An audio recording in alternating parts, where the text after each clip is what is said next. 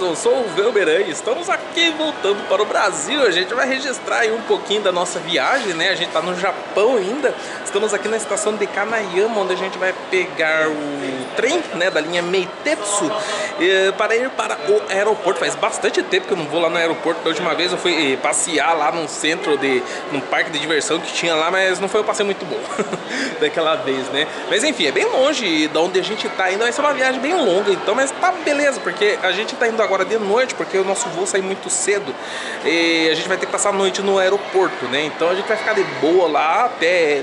Falei pro meu filho e tal, né? Pode ficar acordado até tarde, é, zoando lá na, na internet, porque se adaptar também um pouco o fuso horário do Brasil, que é o contrário, né? Então vamos lá que tá quase na hora do trem chegar.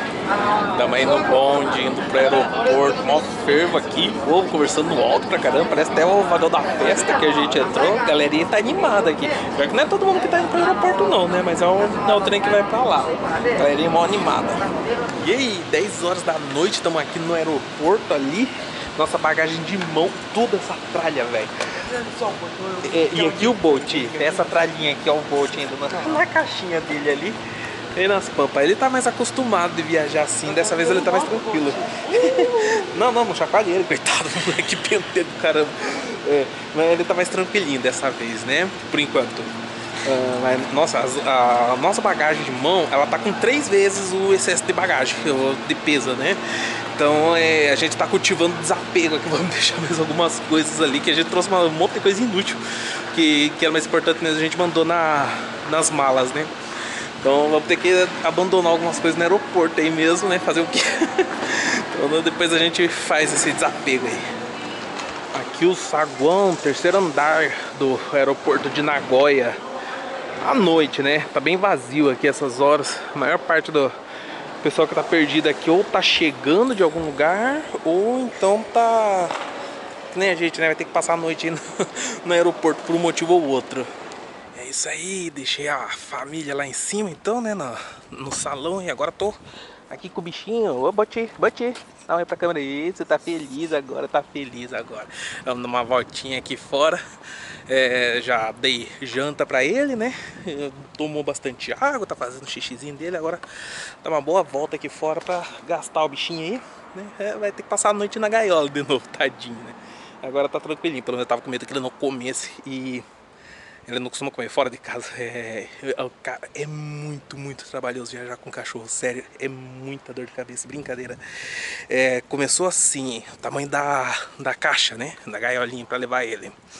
A gente viu no, né, no, na na agência de viagem, né, quais que iria precisar, no tamanho certinho e tal. E aqui no Japão a gente poderia embarcar com um determinado tamanho. No Brasil, né, aqui lá pro Japão a gente está indo pela Lufthansa. No Brasil a gente está indo pela Atam e é outro tamanho, tamanho menor. Então a gente teve que comprar uma bolsa no tamanho que ia caber no do Brasil, né? Só que a gente pediu pela internet, a gente encomendou, viu o tamanho certinho. Uh, encomendamos a bolsa, demorou tempão para chegar a bolsa. Quando chegou, veio o tamanho diferente, veio o tamanho maior. De certo, os caras pensaram, né? Ah, eles compraram tamanho pequeno, mas vamos mandar o tamanho grande, mesmo que ele vai ficar feliz. Ficamos nada, né? Porque o tamanho pequeno era o tamanho certo para entrar no avião. Mandamos, devolvemos, aí escolhemos outras, outra. Aí chegou tamanho errado de novo. Mesma coisa, a gente pediu de outra loja e veio tamanho errado de novo. E aí já não dava mais tempo de devolver, né? Aí tivemos que ir correndo no shopping lá, sair cavucando. A gente cavucou a, a cidade inteira procurando uma bolsa do tamanho certo que a agência precisava, né? Daí fora isso teve as coisas que eu falei no outro vídeo. É, tivemos que levar várias vezes veterinário, é, tivemos que Ministério da Agricultura, alguma coisa assim aqui pra, pra fazer exame nele e ver se estava tudo certinho, da etiqueta de quarentena e tal. E mesmo ali no aeroporto é, a gente não pode andar em qualquer área com ele, né? A gente só tem uma área que a gente pode ficar lá por causa dele. Né? Que é a área que tem os banquinhos lá, né? Então, por exemplo, aqui tem é, hotel, tem um monte de hotel aqui perto. Né? E a gente não pode ficar no hotel por causa do bicho também, né? eles não aceitam cachorro. Então, é um trampo, mano, é um trampo do caramba. Mas faz parte, né, Botier? Aqui, aqui.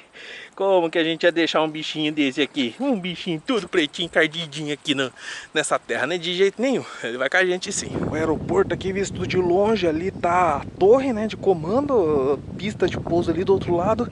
E isso tudo que você tá vendo iluminado ali, esses prédios, tudo é estacionamento. Tem mais estacionamento do que pista de pouso. Né? Engraçado isso, muito estacionamento.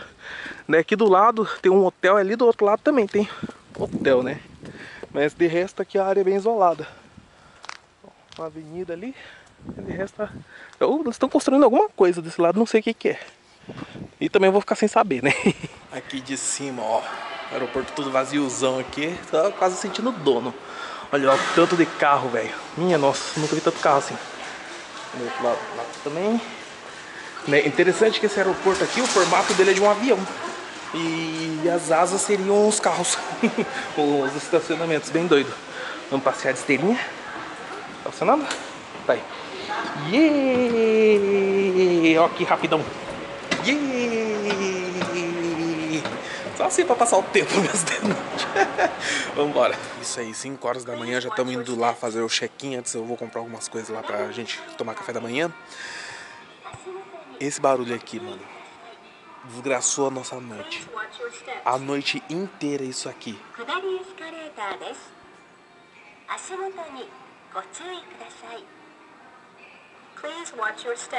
Toda hora, please watch your steps, please watch your steps.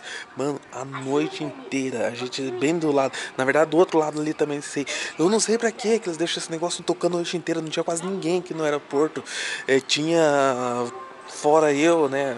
Nós três aqui, tinha sete pessoas no aeroporto só. Ficaram bagulho tocando a noite inteira, a noite inteira. Please watch your steps.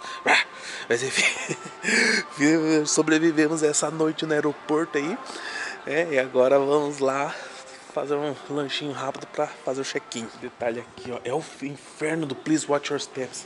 Tem um aviso aqui, outro ali, mais um ali, cara. É para tudo quanto é lugar que a gente vai ter esse negócio tocando. Caramba! Aqui meu último chucrimo do Japão.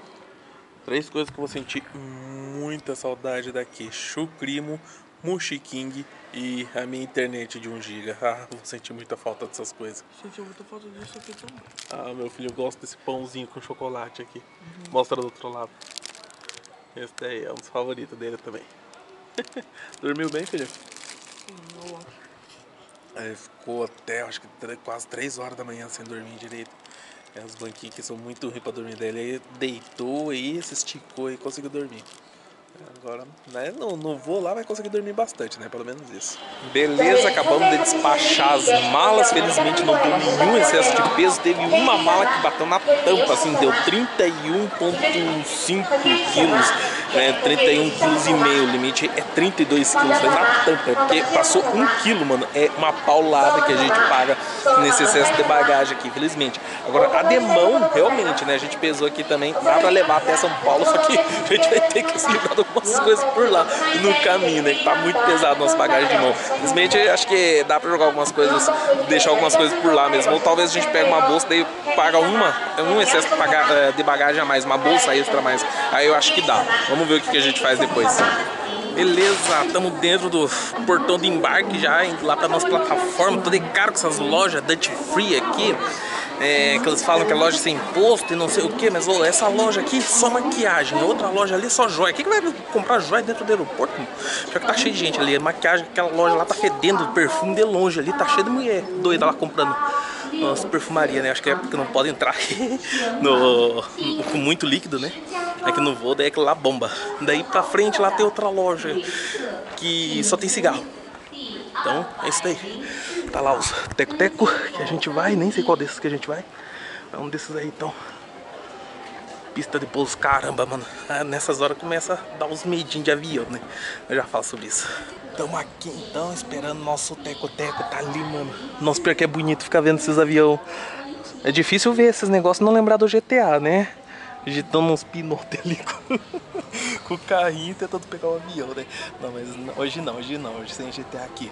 Mas, mano, não tem como. Chega essas horas, aquele friozinho na barriga de pegar o avião, filho, como é que é?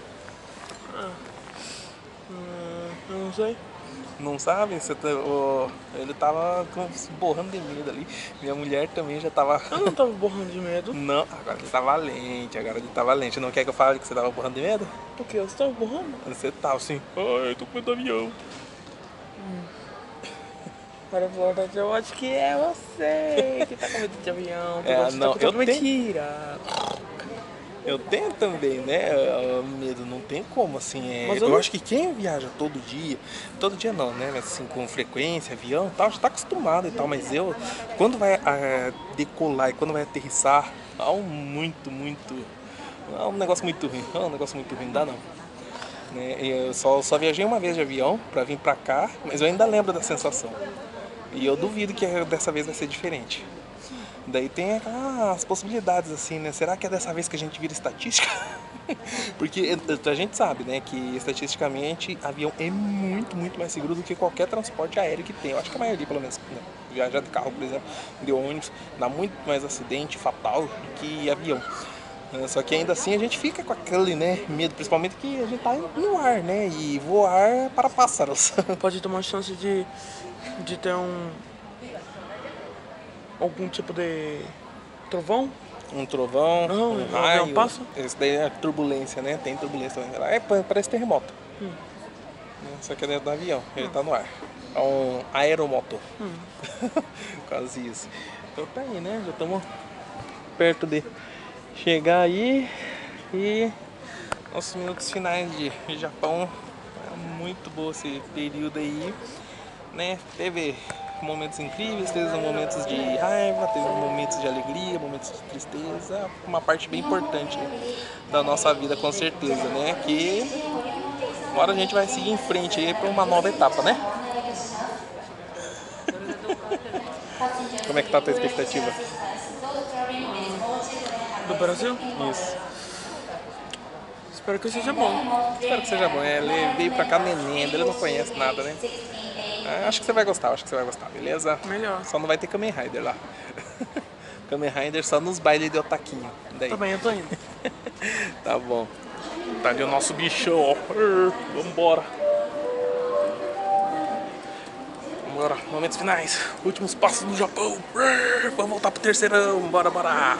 Beleza, estamos aqui no fundão do, do trem, na primeira classe, ao contrário. Né, esse calor humano do caramba, bem no meio do avião aqui, que era onde tinha, né? Três poltronas juntinho. Então é isso aí, o que, que tem aqui pra gente se entreter, né? Tem o menuzinho lá, qualquer coisa, tem uns games lá na bolsa também, se precisar, né? Eu acho que eu vou dormir, porque olha, cansativo viu, esses últimos dias aí. Passar mal parte, pelo menos dessa viagem aí dormindo. Nossa, eu vi a usando até o YouTube, eu vou ver o tal do Velberan aqui, cadê? Em português.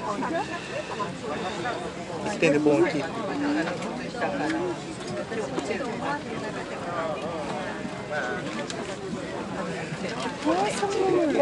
O quê? Eu não tava falando lá que pode ser até 40 centímetros de altura, mas onde que vai entrar o negócio de 40 centímetros?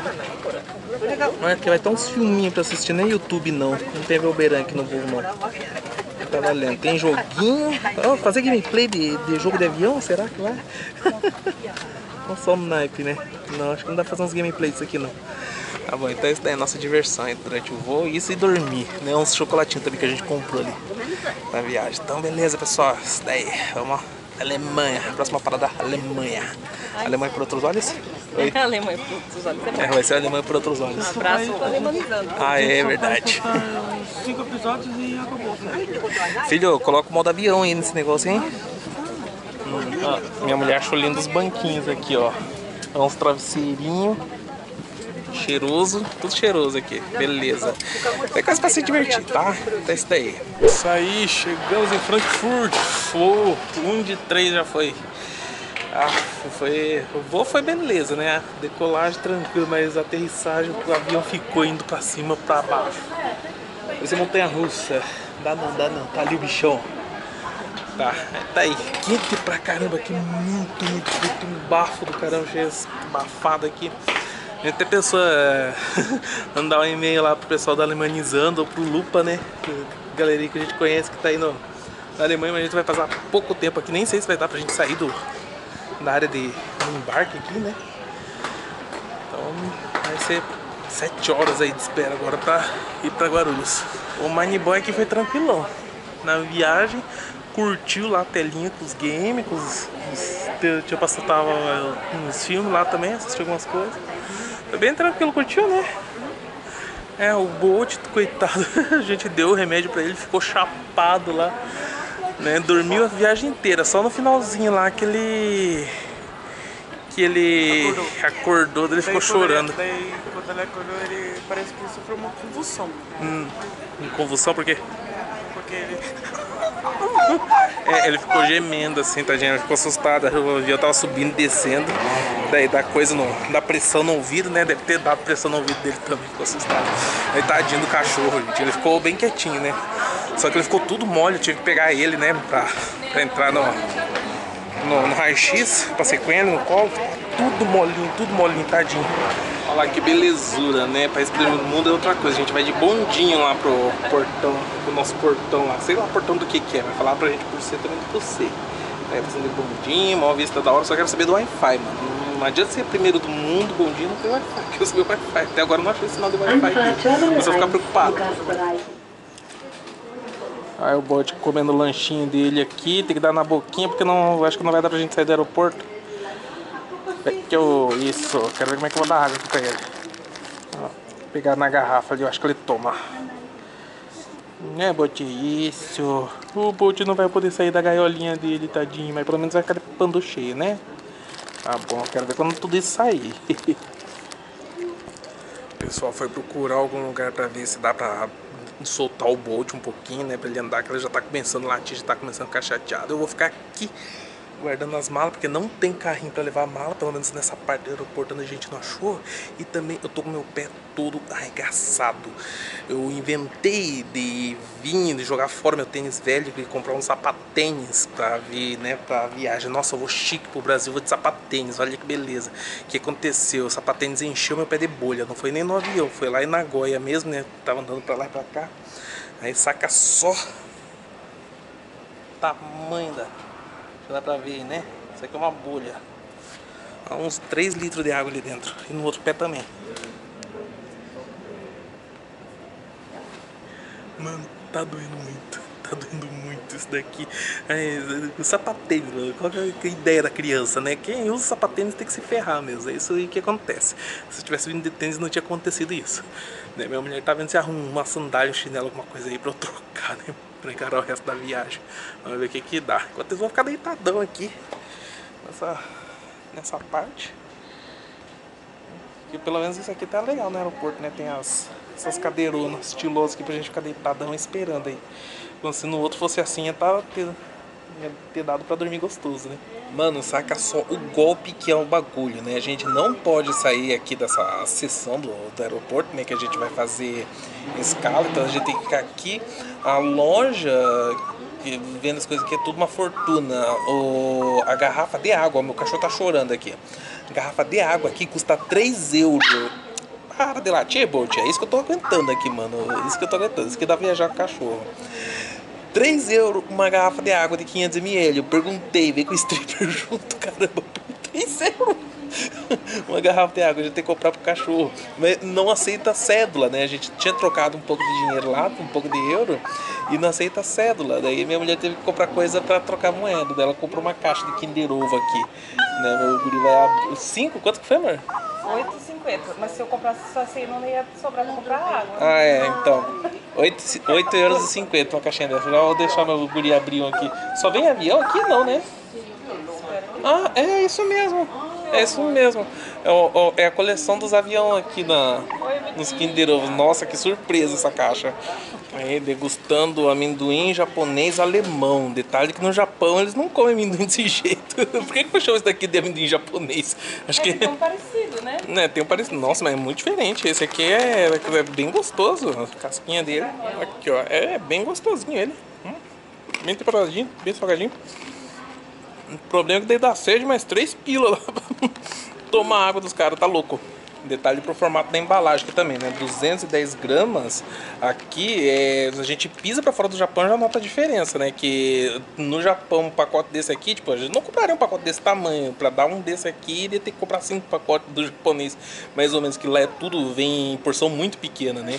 Então pisou para fora aqui na Alemanha a gente já vê os pacotão gigantes que cheio de amendoim. A gente se, se ia acostumar mal, né? Estamos comendo aqui já, já encheu. É, vamos, vamos engordar mais ainda agora. Vamos lá fazer um unboxing também de um Kinder Ovo Surprise da Alemanha. Agora não é mais do Japão, é da Alemanha. Não, negócios. Mesmo podia perder realmente a oportunidade de comer um Kinder Ovo original, né? Sabia, Guri, que o Kinder Ovo vem do, da Alemanha mesmo? Que eu saiba é, tá? É, Kinder é alemão, né? É alemão, né? Isso daí, é alemã. Então vamos descascar o bicho aqui. Mas faz tanto tempo que eu não como Kinder Ovo que eu acho que nem vou saber a diferença, se tiver alguma. O chocolate parece estar mais pálido. Hum, hum, hum.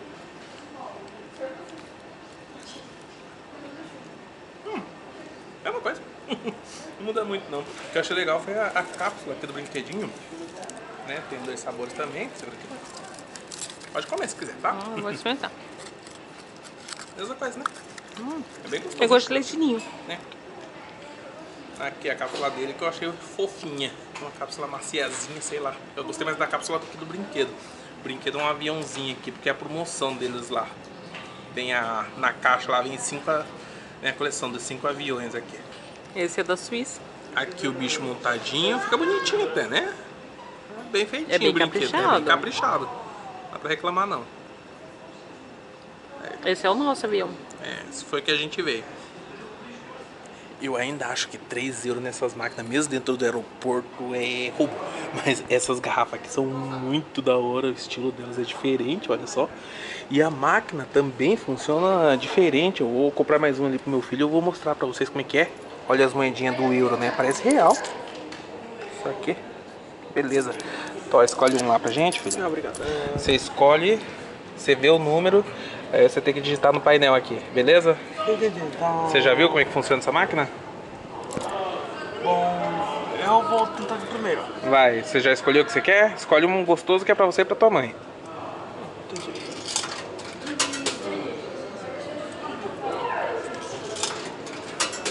De preferência que não tem no, no Japão, né, no Brasil. Coisa nova, diferente pra você experimentar. Não deu? 48. Escolheu, olha lá, sai o garro, joga ali. E coloca na gavetinha, olha que barato, mano. Eu achei muito doido essa máquina. Obrigado. Tá bom. Esse aí eu nunca vi no Japão, a não ser em Kamimaíso. Ah é? Então tá. Mas, Será mas que é bom isso? Assim, nunca, nunca É, beleza. É, tá bom, 3 euros aí só pra ver o showzinho da garrinha da, da máquina pegando. Esse daí a gente não tem no Japão. Bom esse negócio aí? Uhum. Segura aqui pra ver, deixa eu experimentar. Esse aqui é o Mountain Dew. Mountain Dew.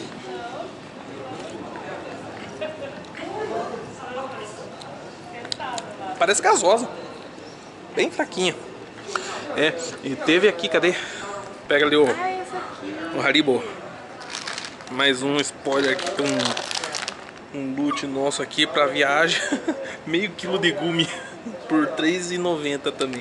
Aí sim, aí sim, aí tá bom né o preço. Vamos comer gumi até chegar no Brasil agora. Já passamos nossas bolsas ali, já estamos na área de embarque. Tem um lance legal aqui, a caixinha pedindo doação. É o legal da caixa que tem dinheiro do mundo inteiro. Dólar, euro, acho que isso aqui é real. É real mesmo, tem um real rasgado ali, fala sério.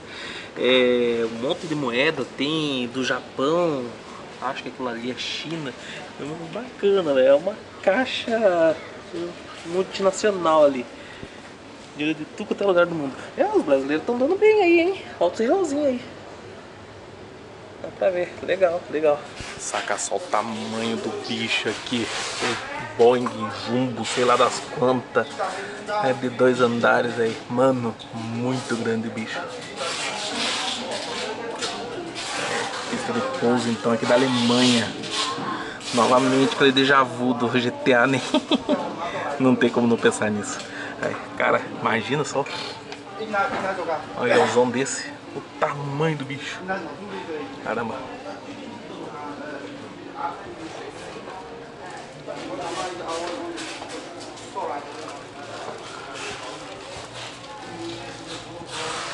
Isso aí, vamos lá pegar o monstrão agora.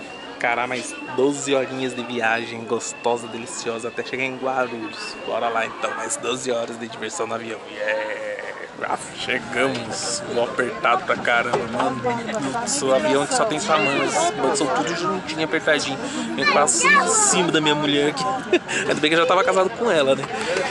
Isso aí, a gente sabe que chegou no Brasil pela mulherada aí, com pouca roupa dos anúncios das lojas. Eu tô impressionado aqui com o tanto de loja que tem aqui no, na saída do, na, bom, é que a gente está na parte interna aqui, né, do aeroporto de Guarulhos ainda, mas tem aquele maldito cheiro de Dutch Free do caramba lá, que é só perfuminho, só aquele cheiro de perfume, tudo no canto. Isso daí não muda. Isso aí é guerra para escolher aqui o que, que a gente vai tomar de café da manhã e tal. O problema é o seguinte, a gente tá com dinheiro de tudo quanto é país, menos do Brasil. A gente gastou uma fortuna no guardar volumes lá, né, para guardar todas as nossas coisas. A gente não ia ficar andando com esse monte de mala, né, no aeroporto pra lá e pra cá, não é nem é, seguro, né, uma coisa dessa. É. Então daí a gente enfiou tudo no guarda-volumes lá, foi uma paulada. E os nossos eu, uh, os nossos reais foram pro saco, né? Que a gente tinha trocado lá no Japão. O problema é que trocar dinheiro no aeroporto é a pior besteira do mundo, assim, né? A gente não sabia quanto que a gente ia gastar no Japão antes de sair, daí a gente não trocou, foi querer trocar no aeroporto, então tá mais ou menos assim, para cada 3 reais eles ficam com um. Né? Então a gente fica com dois, é mais ou menos assim que tá a cotação. Isso daí lá no Japão tava assim, na Alemanha tava na assim. Alemanha tava pior ainda. Na Alemanha tava pior? Tava pior. É, e aqui tá a mesma coisa, né? Vamos, vamos trocar 100 euros lá, deu, ia dar 263 reais? É, 100 euros ia dar 263. 100 euros ia dar 263, sendo que 1 euro tá dando 3 reais e 63 centavos, mais ou menos. Então, pra vocês terem uma ideia. Então... É isso aí, então, morgar mais um tempão aqui no aeroporto de Guarulhos, né? Esperando pra ir para Curitiba. Vai 14 horas de espera, a gente já tá na terceira. e pior que sem Wi-Fi ainda, o Wi-Fi que eles dão aqui no aeroporto é de uma hora só. É, e depois tem que pagar. Só que a gente não tem cartão nem nada, vai pagar como, né? Não dá. Então a gente se ferrou. E vamos ter sem Wi-Fi escutando o Bolt chorando. Vocês estão ouvindo alguma coisa aí, é o Bolt chorando, tá na caixinha dele. Ele já foi passear, tá beleza. É, e, já tá, tá tendo assim bastante choque cultural, né? Da volta, tem muita coisa diferente. Tá certo que aqui é Guarulhos, ainda não é bem minha terra, né? Mas você dá pra ver muita coisa diferente assim, no, no Brasil é, principalmente no preço das coisas que assusta quando a gente vê, né? É, coisa assim que quando a gente saiu custava um real, agora custa três, coisa assim, né? Então a gente sabe que o salário do pessoal mudou, né? Quando eu saí aqui o salário era bem menor. Então teve um reajuste no salário também, só que é estranho, né? Quando a gente vê até se acostumar a proporção do, do dinheiro assim, vai demorar um pouco, né? É, de qualquer forma tá aí, né? Eu já fui lá comprar uns gibizinhos pro guri, ler aí. É, que isso daí é uma coisa que eu queria muito fazer, porque eu lembro que eu comprava a revistinha da Turma da Mônica para ele, né? Na, nas lojas brasileiras que tinha no Japão. E ele lia, ele gostava, só que ele via as coisas na propaganda, ficava com vontade, né? De, de comprar alguma coisa. Não tinha lá no Japão, né? E sempre tinha muita propaganda, assim, falando: ah, procure essa revista na, na banca de jornal mais próxima da sua casa. E ele perguntava pra gente como que é uma banca de jornal, né? E a gente falava, tal, porque no Japão tinha as lojas de conveniência, né? Que tinha é, revista tudo mais, só que era um pouco diferente, né? Então ele acha, ficou assim meio na cabeça assim que a banca de jornal era uma coisa diferente. E hoje finalmente pude levar ele para uma banca de jornal é, para ele escolher umas revistinhas, né? Fiquei bastante feliz com isso. O que, que você achou, Guri? É legalzinho. Legalzinho? O que, que você achou? Ah, gostei. Gostou? Escolheu as suas revistinhas? Sim. Ele ficou bem admirado lá com. Comida. É, tinha, tinha bastante coisa diferente. Tinha um local lá que custava uns 16 É, reais. as revistas aqui tá tudo no preço padrão, né? Da, de capa mesmo. Só que as outras coisas estão tudo três vezes mais caro aqui no aeroporto, né? Normal. Então a gente tá comprando tudo em as coisas em loja de rede, assim, que tem preço tabelado, né? Daí não muda. Nossa, mas o bote tá chato, hein? então é isso daí, gente. É mais ou menos essa é uma parte, né, da, da nossa aventura aí de volta. Vamos chegar em Curitiba, daí a gente faz mais uns vídeos falando aí do resultado das nossas malas, né? O que, que chegou inteiro, o que não chegou. Vamos ver, porque já teve uma mala quebrada.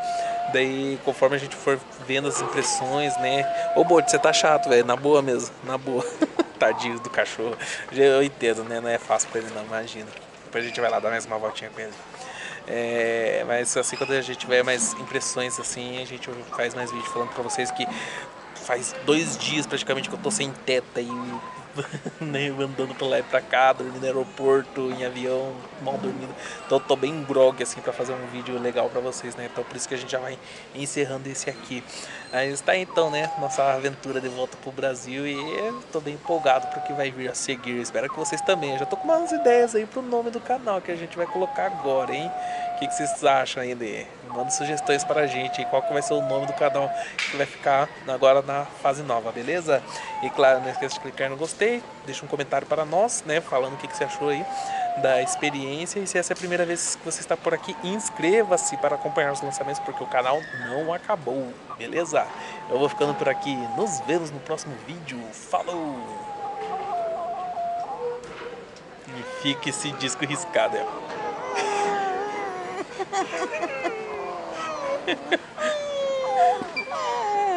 Tá quase, Botinho, tá quase, tá quase.